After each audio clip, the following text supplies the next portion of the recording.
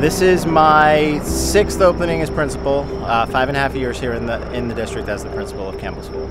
So this is my 27th year of teaching. The first day of school is always exciting, always a little bit nerve-wracking, and it's like on opening up, opening up a package. You don't know what you're going to find.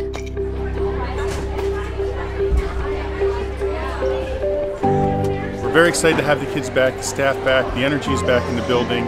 Um, it's a really great day. Weather is perfect, so we're expecting another very successful year.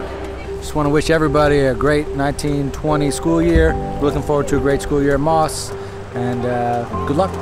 I know I didn't sleep well last night, but just anticipating the uh, arrival of our new students. Uh, and I'm sure that there are others who have those like little butterflies in their stomach as well. Uh, but once we get here and once we see our students and we see the enthusiasm in their uh, smiles and their excitement for being here, all the nerves melt away and we're ready for a great school year.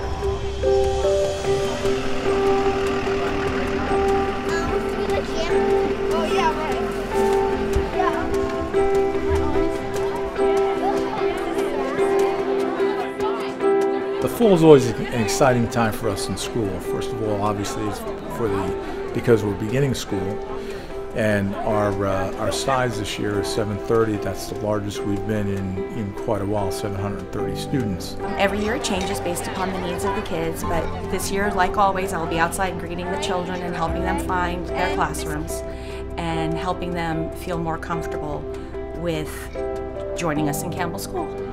Well, the first couple days, kids are always excited to be back in school. They get to catch up with friends, get to see teachers from years past. Um, so this is kind of a the honeymoon period, and once classes start and the schedule gets into place, again, um, it has a different energy. But again, the kids are the kids fall into place. The schedules are understood, and um, things just start to roll. It's like a well-oiled machine. You sometimes have to take a step back, but if you don't learn, then you're not going to help the kids. And part of learning is learning about their personalities and knowing who they are. Enjoy and take what take it as it comes.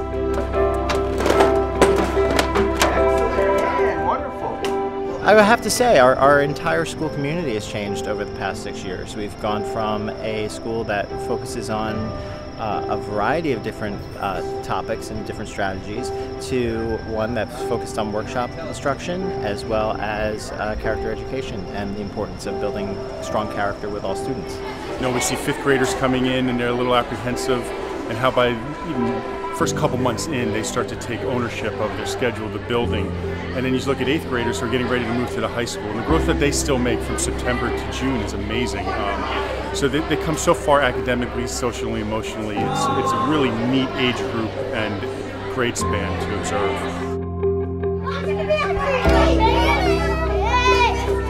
I'm looking forward to working with my wonderful staff. I'm very fortunate to have uh, three ladies assist me in the class at different times during the day. I'm looking forward to working with um, my cooperating teacher. She and I will work together to get uh, to make sure that our children who we have in tandem will get the best education possible. Our building is in great shape. Our custodians do a tremendous job over the summer getting it ready.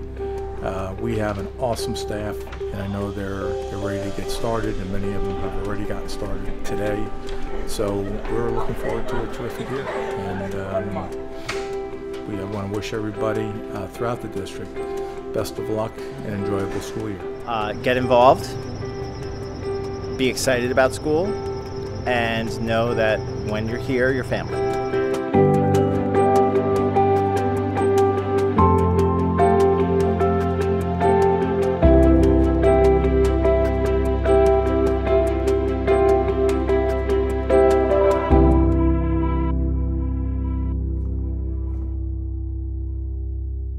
I'm really proud to be standing at the, uh, at the opening to our new science edition. The construction on the science edition began last June and uh, we were fortunate enough to have it completed for the start of school. And we're going to take you through the two classrooms, the two science labs that were constructed and, um, and how we plan on using them. The, the first nice thing about all of these is that they're all air conditioned. The, the downstairs classroom as well as the one upstairs.